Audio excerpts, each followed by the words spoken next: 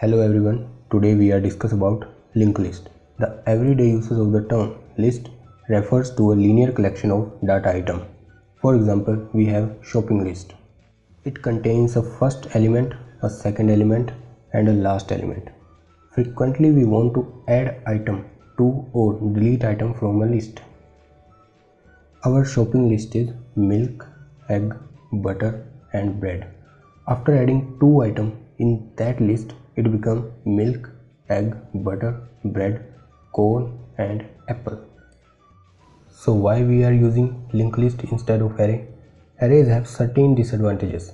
It is relatively expensive to insert and delete element in an array.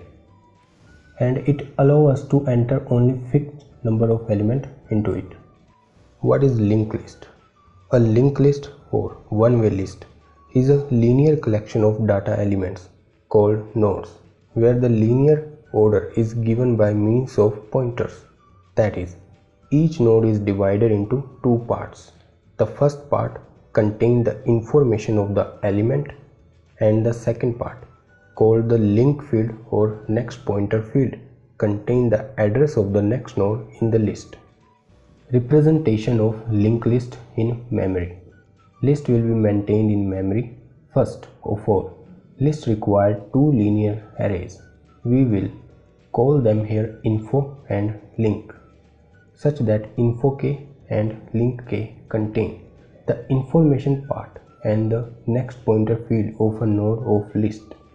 List also require a variable name such as start which contain the location of the beginning of the list and null which indicate the end of the list. We will choose null equal to 0 we take one example. We are start from 1 1 is the address of memory.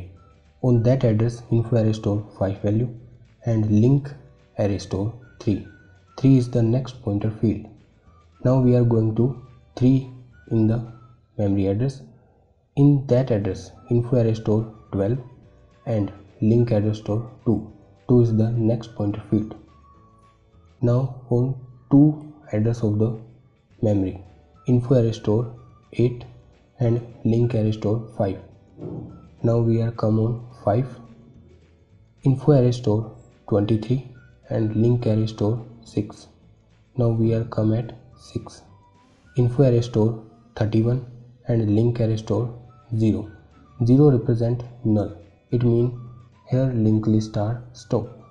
Traversing a linked list let. List be a linked list in memory this algorithm traverses list, applying an operation process to each element of list. The variable ptr points to the node currently being processed. We are take one example. Now ptr hold 100 memory address. In 100 memory address it will store 2.